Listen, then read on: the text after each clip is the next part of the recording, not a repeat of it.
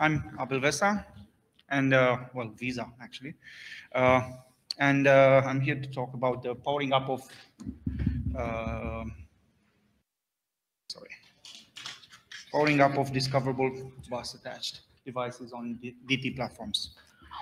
Um, or how Linux Linus Walleij put it, discoverable buses that aren't quite discoverable, which I mean could have been the title of this talk. Uh, so let me first start to talk a bit about who am I. Uh, I work for uh, Linaro, and I mainly focus on bringing Qualcomm upstream support. Uh, I've been involved in uh, almost a year now, which is the how long I've been, uh, well, actually a year and a half almost, which is how long I've been with Linaro. I've been working on um, bringing up two of the latest Qualcomm platforms in upstream. One of them is still ongoing. Uh, I'm also the maintainer on IMX, IMX the NXP's IMX drivers. And uh, yeah, one of the coolest things of working in uh, for Linaro on uh, Qualcomm platforms is, uh, well, I get to understand the hardware bits, but with a kernel perspective in mind. So I'm a software guy after all. Um, and by the way, this is my first attendance at LPC. So yeah. Thanks. Uh, so I've split this uh, talk into five parts. Uh, I'm gonna talk about, uh, introduce basically all the uh, players and what's the disconnect between the discoverable buses and devices on DT-based platforms.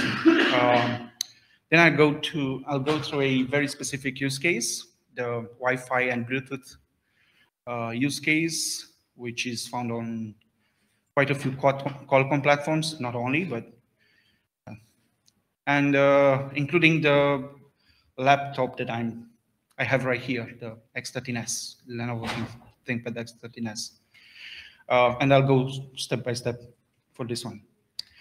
Um, then I'll go through some of the solutions and workarounds we, we were considering for fixing the PCI uh, Wi-Fi issue we had. Um, then I'm gonna talk about the powering, power sequencing subsystem, a proposal that was done, I think, in the last decade or so, um, and how it would solve uh, at least half of the problem. And then uh, the second part of that would be USB onboard hub use case, which solves the other part, basically. Uh, and um, how it could be still a good fit for us, but it's, uh, let's say, more hacky. Uh, and then at the end, I'll share some of my thoughts and ideas about the possible solutions and uh, what could work.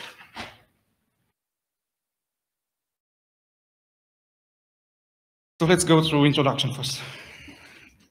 Uh, why is this important in the first place? So since it becomes more common and uh, the problem itself, and uh, it's having impact of, on both the power consumption and uh, adding support for new hardware, and I'll explain that later on. Um, I should probably describe what a discoverable bus is and then non-discoverable bus as opposed to discoverable one, and uh, what a DT platform based is, just to make sure that we have the basis. Um, so a discoverable bus is basically any bus that uh, you have any kind of inter interrogative action uh, over the bus in order to figure out if there are, there are any kind of uh, child devices attached to it. Uh, usually you have a controller that starts the section and then enumerates whatever is found on the other end. Uh, and examples of such buses are PCI, USB, SDIO, SLIMbus, so on. Uh, on the other hand, non-discoverable buses uh, rely on information provided solely by uh, device tree, board files, ACPI tables.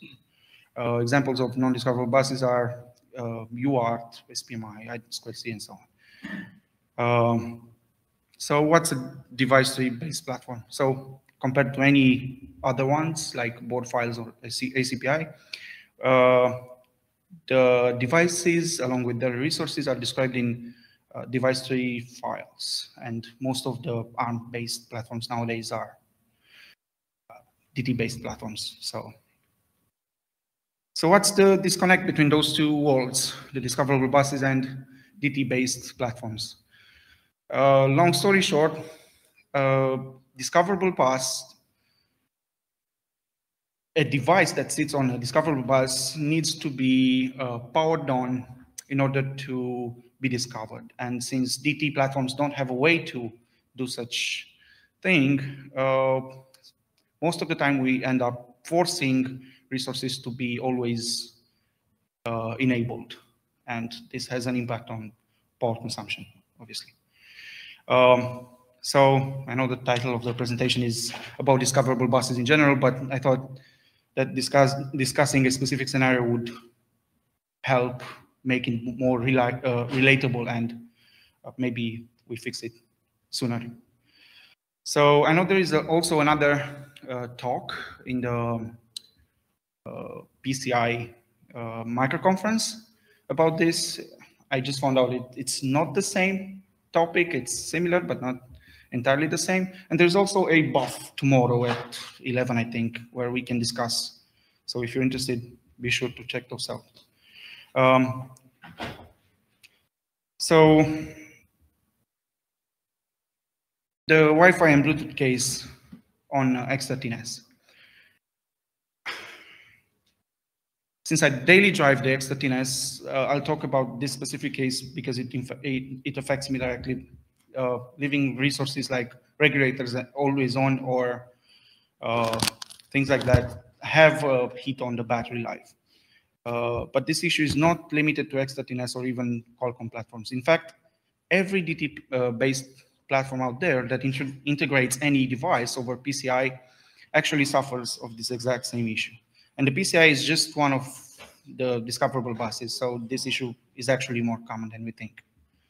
Well, uh, what is X13S? Can you share a few words? Oh yeah, it's uh, the uh, Lenovo ThinkPad, this laptop actually and it has, I'm gonna go through this, it, it's Qualcomm-based platform, so it's a DT platform basically.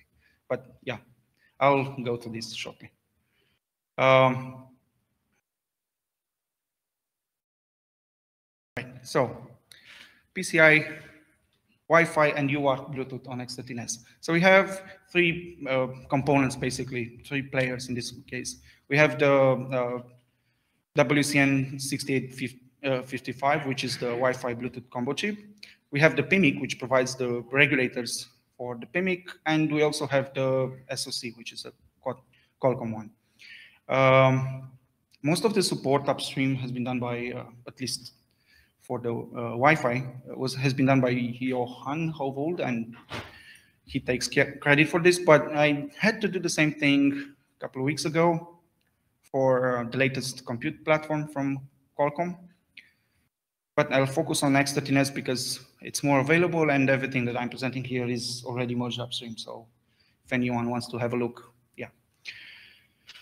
Uh, also, the X13S scenario is interesting for another reason. It's because it also uses a non-discoverable bus, the UART one. So uh, we can see the differences uh, between the discovery process and what's missing with respect to the discoverable buses. So the X13S uses WCN, as I said, and then uh, the PMIC and the, uh, the SoC. And uh, there are a couple of things that are controlled by the SoC on behalf of the Wi-Fi chip. So the regulators and a couple of GPIOs. And those are important because there is a, an order of doing things with respect to powering up, which I will be getting into uh, in the next slides. Um, so this is how the hardware looks like. Now let's move on to kernel support. Um, so we define the regulators, whatever, in uh, the uh, node. And uh, this is just one example. Uh, by default, these regulators are left in a specific state by the bootloader, but uh, when it comes to Bluetooth, we don't really care because the Bluetooth driver takes care of, of themselves, of them itself. But on the Wi-Fi part, that's where the things are a bit complicated. And uh, that's basically the problem that we're trying to address. So enabling the Bluetooth, basically we add all the regulators and the GPIOs based on the uh, schematics that we were looking at, schematics. And uh, the first regulator here is needed by both Wi-Fi and uh, Bluetooth. Second one is just Bluetooth. For the, the last four ones are only Wi-Fi. Uh, then uh, they, they need to be, again, they need to be uh, handled in a specific order. Uh, and this is what we call a power sequence. And it involves toggling the enable GPIO and the software control GPIO as well. And again, this is part of the presentation as well. Uh, so for now, we'll, we'll focus on the Bluetooth. Um, and uh, if everything is correct, and from the, point of view and obviously the driver, we have the Bluetooth driver probing successfully. Uh, everything was easy, so let's just look at how the discovery process has has handled this. And it's we can't really call it a discovery, but why not? Uh, so it's basically uh, in, triggered, initiated by the GenI uh, uh, controller and using the off populate, uh, off platform populate, which loops through all the child device tree nodes and registers uh, each one of them as a device. This is why the device doesn't need to be powered on beforehand and as it relies on device tree data only. So if the device tree says it's there, then there is no doubt about it. Uh, now let's move on to the Wi-Fi. Uh, and we'll compare facts after. So in order to enable the Wi-Fi, we enable the PCIe instances along with the, the PHY. We boot, and uh, if we're lucky, we might not, we might end up having the ATH probing successfully. But it, on the other hand, if we're not lucky, we don't get anything. So it doesn't probe, it, it doesn't get discovered. So we start digging and uh, trying to figure out why it doesn't work. And uh, somebody might point out that, well, we're lacking the we're lacking the device tree node. So yeah, sure. We should probably go ahead and uh, do that. And uh, so we go ahead and add the uh, PCI host controller and the child device tree node for Wi-Fi and uh, we also add the regulators and the GPIO like we did for the, the, the Bluetooth. And uh, for the sake of the argument, we assume that the ATH driver already handles those resources correctly, which, by the way, it will have to do due to the power sequencing I mentioned, mentioned earlier. We'll discuss that later. But guess what? It's still not discovered. So we start digging again. We look through everything we consider might be a problem. And in the end, we blame the regulators and we say, you know what? Let's mark them as always on in device tree just in case. So we go ahead and do that. Maybe that will fix it. And uh, when we uh, boot again, the device is there. So gets discovered probes. So that means we have Wi-Fi support. Okay, but what about the uh, regulators that we just marked as always on? Those might raise some eyebrow, eyebrows uh, when the support gets sent on the list, right? Well, actually, no, because this is already a known issue by now. But let's, just in case, let's figure out what happened. So um, the, the, the actually discovery, in this case, it's a discovery. It's initiated by the uh, PCI host, host controller driver via the uh, PCI host probe, which ultimately loops through all the slots this time on uh, the PCI bus, rather than going to the device tree nodes, uh, and does some reads over the bus, and basically, uh, if uh, whatever device it finds, it populates that one. And um, yeah. But since the device wasn't powered up before, the discovery was failing. So it's obvious that any device that is not powered up will not be discovered and therefore not registered. But let's compare side by side the facts for Bluetooth and Wi-Fi. So uh, Bluetooth is a platform device, which implies the second point, which is is being discovered solely by the device tree information. On the other hand, Wi-Fi is a PCIe device, which implies the second point here, meaning it is discovered by bus scanning, which means device tree node is totally ignored.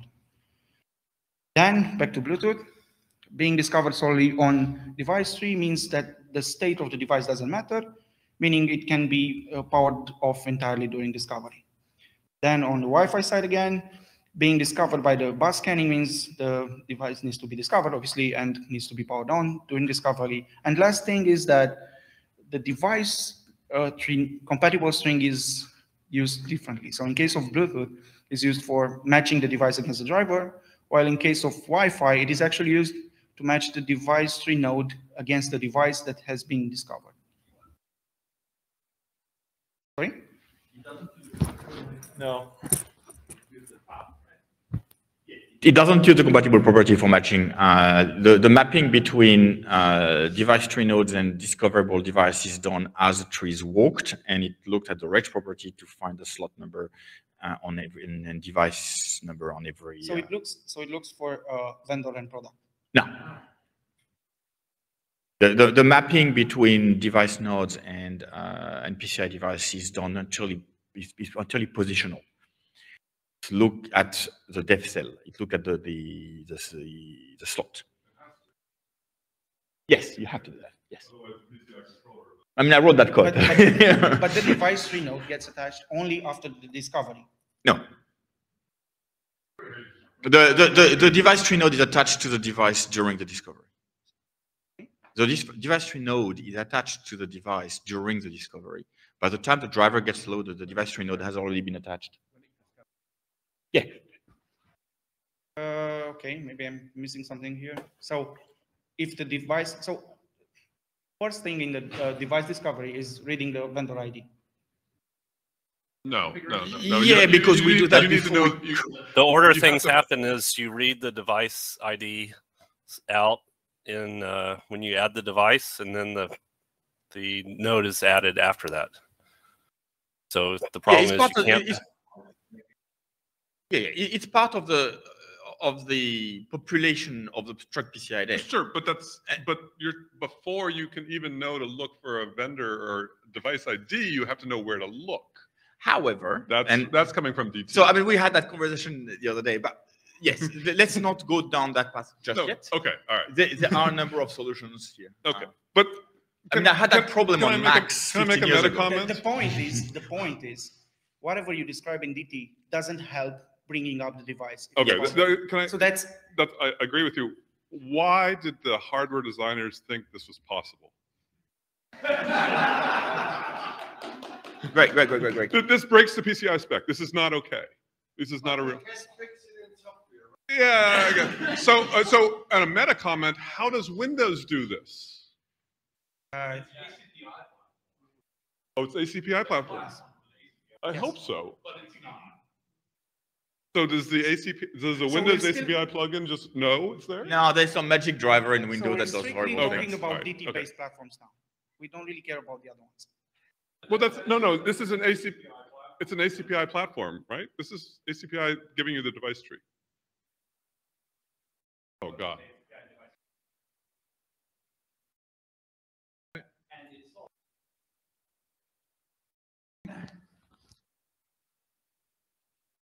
Yeah, so it's solved in the Windows case by ACPI when you power up uh, uh, either controller or the root port, then it will behind the scenes power up the device as well.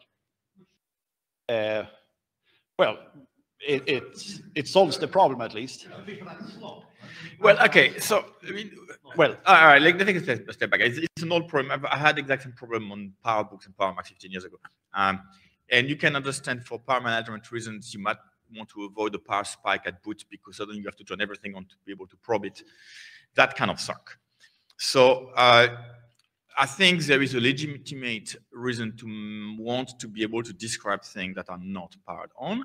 And there might be ways to do that on discoverable with PCI, such as PCI or, or USB. But let's not go straight to the solution just yet because I think you, you want to say more things. We have we have a both both uh, Mhm. uh, Okay, session tomorrow, and we also have another by uh, Lizhi Hou. Oh yeah, So I, I mean, I'll, I'll make a meta comment. We were asking for the people to design hardware to use the discoverable buses like USB and PCI for forever because they would solve the problems. They did, We know they it did half of doesn't, it. they, they put it on there, but they still didn't make it discoverable. yes. But Greg, Greg, the, you, you have to realize, this is Grant right here. So Greg, the, the reason PCI was, was really targeting servers and, and more higher power environments. And we're talking now about lower power environments Oh, I- where, I know, I know, but we, Right, we've had so- PCI on these tiny things before. right, but the design wasn't originally coming up from that level and the designers here were trying to save power and they did. I agree, but it's almost there. so close. It is so close. Okay, fair enough. Okay, so yeah, uh, point is device tree node doesn't help with respect to powering up the device before discovery happens. That's the bottom line. Okay. Um, so now that we know how this is happening, let's move on to the power sequencing that I mentioned earlier. Um, I've said that there is a specific order that the resources need to be enabled to have uh, Bluetooth working properly and obviously Wi-Fi. Uh, so the way that the driver, the Bluetooth driver currently does is basically first enabling the regulators, then the clocks, wait a bit, uh, then uh, you enable the GPIO, which enables the entire uh, Wi-Fi Bluetooth combo chip. Then you wait a, a bit again, and then you check for the clock supply from the SoC. This is all specific to the WCN6855. Other Wi-Fi combo chips have different requirements with respect to uh, enabling those resources. Even the order differs sometimes. So uh,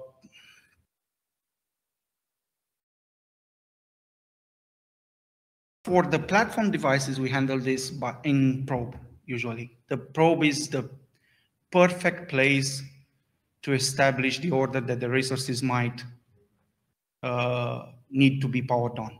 But in case of Wi-Fi, in case of the PCI device, the Wi-Fi chip that we described earlier, that's not the case, at least not for the power up uh, sequence. You can handle those resources, but not when it comes to the power up.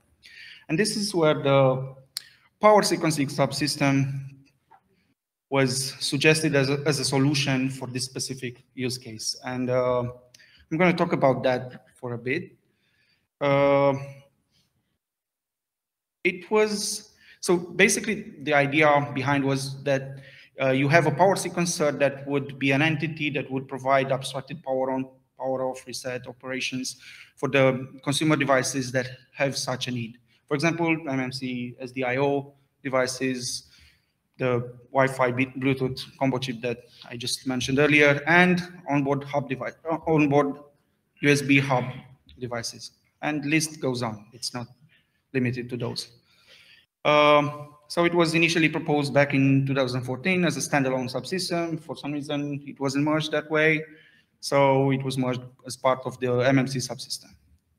Then, fast forward seven years later, there was another try to make this a stand standalone subsystem. And here is uh, when we consider that it might be a solution for the Wi-Fi uh, PCIe power-up sequence.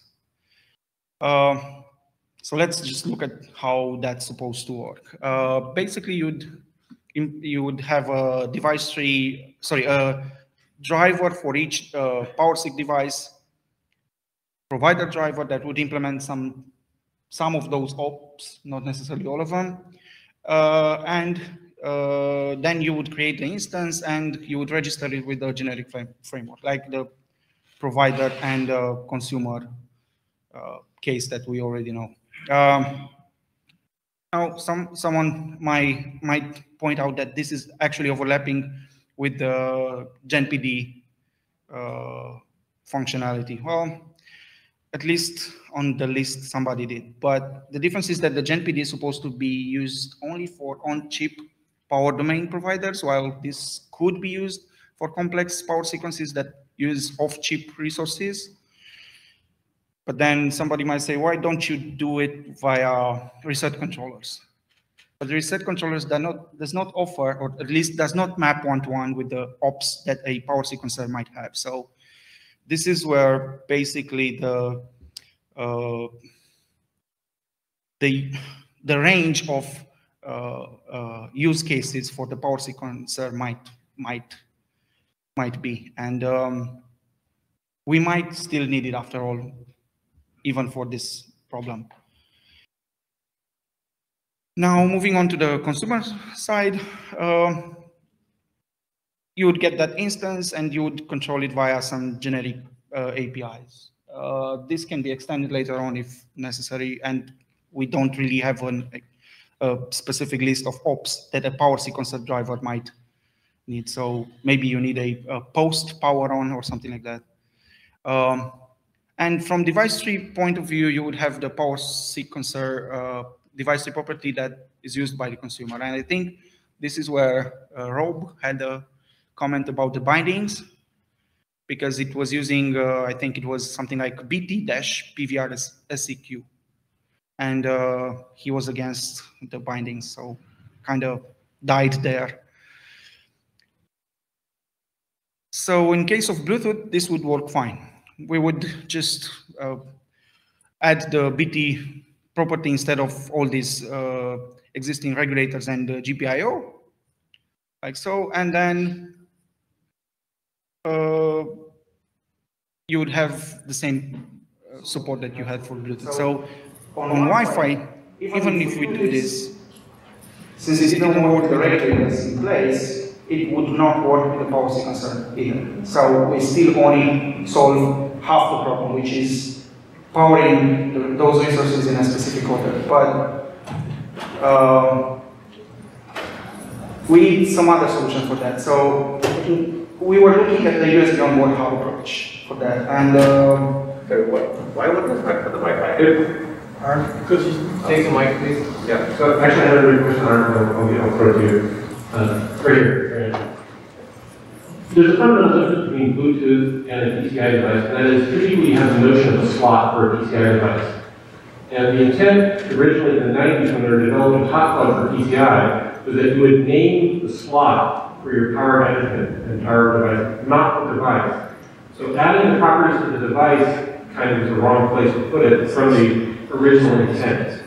Well, that doesn't mean it's wrong entirely, but that's sort of doesn't fit with the original intent of it. You uh, see someplace, you see someplace where there's a slot name here, the idea of, because when you're trying to probe a PCI device, you're actually in configuration space, you have special fit cycles that are poking at a particular um, hard-coded address, so to speak. You enumerate, go through them in order to find all the possible devices. Is Right. there some place where you're talking about a slot in this concept? So the, it's, the PCI node itself, the device node is uh, identified as a slot. So I think. uh, Well, it doesn't have to be. But this is, this is not, the way that we expect, trying to PCI device, not that I got the slot is known, the device is not. Yes. Yes, but the model is a bit interesting here because it's not PCI slot. We actually have backsides not going from the power regulator to the device that are not PCI segments. And so, Which uh, is the way PCI alpha works, it's out of band segments. well, on the way to find that's actually to a. This is not quite it. We have specific wiring going back into the chip, which are not part of the PCI segment, are not PCI. That's what PCI hot plug is, it's an out of band. But it's specified. No, there's, you can do vendor, there's lots of vendors. Yeah. It's the same thing as PCI slots. It's specified that essentially call this AFL method or something, which will go away on the way PPO. Yes. which is what we want. Only. What we want is to say, Yes, it's but the, a slow. the, the problem is we don't know that there is, so there's two problems. First, we don't know there's something waiting to turn.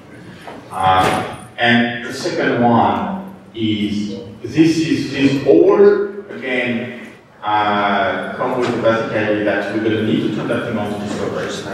Which is gonna mean, in the, The point of the slot is to know to look there. Yes, that's all. Yeah, but you don't, yeah. But, so what I was going to, toward is, in another ideal world, through your various power sequencing engineers and stuff, you have the ability, and I don't know if the case onto that chip, to only turn on the part of the chip that responds to PCI and leave everything at right and all the power and restart off. Because you don't want to turn on that chip on. Sure. And but that's where it takes time, power sequencing is complex, you use quite a lot of energy, and you don't want to have a big spike because you're just turning everything on to your motherboard just to be able to progress. Because you ran out of PCI, you know, whatever. Exactly. So you, you potentially want to look at whether there is some granularity here that you can apply to only turn on enough logic to respond to PCI cycles.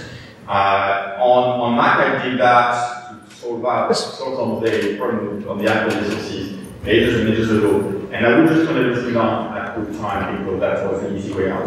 But, but not from a platform query in code in the kernel that knew about the platform and just know I need to do that on that right? It wasn't abstracted in any, any way. Um, the, the, the problem in general beyond PCI, uh, because this problem exists on a bunch of those devices for USBs and other things like this wired the board, to PCI on and has a lot of other connections around, is do we want to consider uh, the concept of using the device like we've done already in the past on SPARC and Power to fabricate PCI data without probing. Yes, I know that's what I hate that with the fire of a million suns. It went through 24 revisions, but I don't know a better way. Uh, and, and in doing so, I do better than what we said, because again, today we have the essential devices on, which in the minute we register it, the PCI code will start working in the space and things will go wrong. So the, to add to this the concept that we create a PCI data, we tell the PCI core, the USB core, whatever it is, this device exists, it is there, cut it off. and we have that it's off there so that we don't, yeah. So what you're describing is a hot plug PCI bus.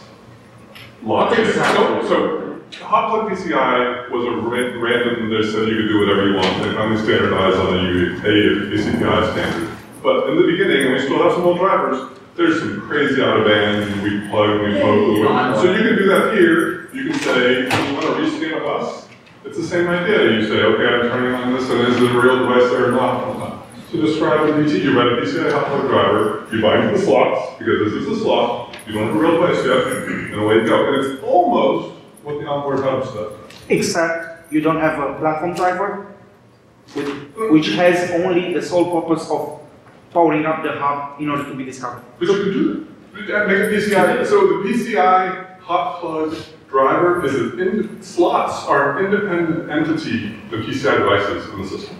They're Yes, but going back to the fact that you don't, the, the device you know is not used at all before. It's, it's not No, even, You, you describe in DT the slots, that there's a potential thing, and that's what you describe. So slots are independent of devices. There's a binding based on whatever the platform is. The, the problem you have on that path is, if you, if you want to go back to the user, you want basically the driver to be loaded, to know the device is there when it's off. But the- the- Make the rules of binary interface. Which is the case for every platform No, device, that's not basically. you do. So what you describe, NDT, the slots, and what is going to be behind it. And then your new PCI output driver, which is a PCI, it's an onboard PCI, or whatever you want to call it, for platform. right, so why don't just move the whole logic in the, the PCI without having a, a, a dedicated device tree node just for powering up the. Because it's a slot, you have to. That's the way the PCI works. Well, we, we talk about it later because No, no, I'm there's- saying, yeah, uh, it's actually, it should be really, it's really simple to write a PCI hot plug driver because I did it and I did what I was I, doing. I argue that doesn't solve the problem. We'll talk about it later. It really does. No, it doesn't. It's simple because this is this is just like the old, and then away you go. Guys, 'cause I think Abel needs to move on, otherwise we're not going to get done Okay, fair enough. But I mean, this is almost what the USB onboard hub does because you're describing DT a uh, hub, and you know you can power it on because they had a DT binding, and then after that, all the USB devices are found. Yes, but then we would have to go through all the Wi-Fi, so in this case, the Atheros drivers, and add a No, no, platform. no, no, no, no, no, no. You have a so this so the USB onboard hub is all it is is a hub driver. So if Yes. you describe your USB devices underneath it, and you have an out of band power to turn on and off, control power management. whatnot. You your DT the way this works, the DT says I have some USB devices under there. Here's the resources for powering on, and away it goes. It creates that, and then it, those hand those new devices are found by the USB core, and away you go. So this is the way P- okay. PCI hot plug works.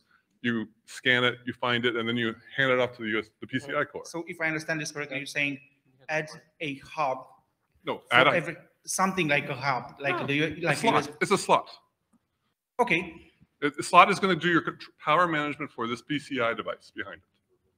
The- but the- it still needs to handle every device out there that's over PCI. Exactly. That's why PCI hot plug works today. You you don't have to write. There's like a five PCI hot plug drivers in the kernel. You don't have to. All it controls is the hardware that powers on and off a slot. Okay. Yeah. So the, the problem is that We the have support for that already. uh, slot is for slots, but that's standard PCI because it defines what the power rails are. Well, no, you can have. Well, there's also platform-specific PCI hot plug drivers. Right. Because it came before they decided to standardize it. Yeah. So it can handle the kernel can handle any of these crazy things. the, the problem is that here it's not platform specific. It's specific to the device that's behind it. Yes, so you write a DT that says the slot. Yeah. You say, I'm Yeah. slot four, and four, you're, Yeah. uh, you then, and you know, and you go and you create a PCI device behind it, because then you probe the hardware, you can read the P- vendor So you would have a generic compatible that would match against the platform driver, which would enable all the res- all the resources, and then the PCI would the device would be discovered. Yeah. N- Not a platform driver. No, no, well, no, there's a platform driver for the PCI slot. Yes, yes, yes. Like the Like, on- just like this yes, guy. exactly. Yeah, yeah. Okay, Just like okay. that. And Okay. keeping it out of the Wi-Fi driver means that uh, if we have multiple different uh, ways we attach the same Wi-Fi chip, that difference will be described in the slot representation or in the hot plug representation. And, and it'll work for any PCI, it'll work for any PCI driver. So a single basic. Okay, a single uh, driver for slots, basically for So again, just like onboard hub, you do not have in the onboard hub a description of all the USB devices beyond that. well, they actually have. They um, have, those are describing the hub. Yeah, they do some other crazy stuff, but you can put anything beyond that and it doesn't matter. There's another solution here, and it's already done with the uh, MDIO bus, which is also discoverable. Um, and that is basically if your DT has a device declared, but you haven't discovered it, probe it anyway. So in PCI case, I you would want- have to skip um, any config space accesses and jump into Yeah, that's going to be, probe. well, your PCI, your PCI bus driver, that'd be a platform bus driver logic. That might be a lot more work than this. Yeah, Isn't that what You don't- No, you don't no, need a no, second- no, you don't need no, a that'd be your second PCI, driver. Your Qualcomm PCI driver. Yes. Yeah. So, uh, Greg, I just want to point out the, the concept of a port under USB and a USB hub is sort of the equivalent of a slot. It's Totally. a notion, It's it's a notion exactly, of a, of that. So it I is, think, I just want able to realize that there's a parallel between the two buses and how they're discovered. Yeah, exactly, yeah. Okay, let's let's go through the slides. All and. We can This- discuss. this is- Again, there is a this BoF session tomorrow, so make sure you're there. Um, right, so it was merging uh, 6.0 and with the purpose of working around the power up of the USB hub, uh, which basically depends on resources from device tree. So just like the Wi-Fi and Bluetooth uh, combo chip. So, no, so remember, Wi-Fi is a device functionality. It's not a bus functionality. So it's independent. You can have the same Wi-Fi controller on a USB bus or a PCI bus. It's independent. So don't think, think of these as a, the bus issue, not the drive, not the driver that implements either Bluetooth or Wi-Fi. Those are independent. Okay. Uh, yeah, it solves basically, so you already know, but it solves the uh, problem by having a platform device which has the sole purpose of powering up the hub in order to be discovered, and then the onboard hub takes care of, uh, sorry, the USB device takes care of the rest basically, and even the uh, power sequence, sorry, the the runtime PM of the USB calls basically API from, so this is what's weird about the USB onboard hub. You have two drivers which share APIs for powering up and powering down the hub. So that's why we wanted Yeah, to because avoid that. we don't have a standard API like we have for hot plug for USB to enable the driver of the device to uh, and to interact with the power controller. That, yes, we do. That's the hub driver. Yes. That is, we have hub drivers. That hub drive, we have a generic hub driver. We have this now. But this We- is We, we wrote implemented- generic hub drivers and we, these were the first ones to actually use the Was that actually implemented Twenty as a hub later. driver? This is actually implemented as a hub driver. Yes, Because he said he has private APIs. this is a hub driver. Okay. It creates platform devices, which I hate, but it works. we couldn't. I, I, I again, 24 implement the 24 cycles of that patch set. Wrote? If they're here, thank you. You put up with. Me. You put up with me. That was horrible. I'm so sorry. But I mean, you understand my hatred of it. But it works, and it actually is. It's done in a way that's been flexible enough. It's handled like totally different platforms, and they all seem to work. So you did a great job. So PCI slots should do the same thing. Hey, Laurent wanted to ask something. Uh, yeah, this one thing that strikes me as a difference between USB and PCI here is that mostly for, for USB device, you will have, at least if it's a hot pluggable device, you will have the V-bus, you will have your 5 volt, and hopefully that's that's most of the things you'll need.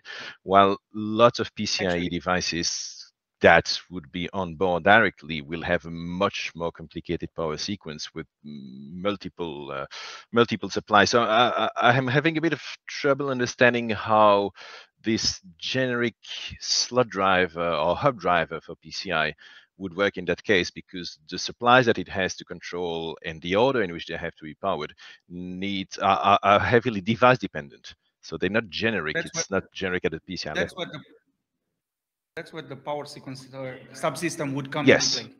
Yes.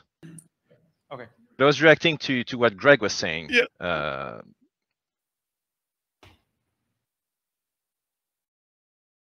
Yeah, I, I agree. It's going to be complex. It's not going to be as simple as you want, Okay. but it- you will be able to write a platform driver for your controller that's going to power up the slot. Right. So uh, going straight to the conclusion because onboard hub is already known, it seems.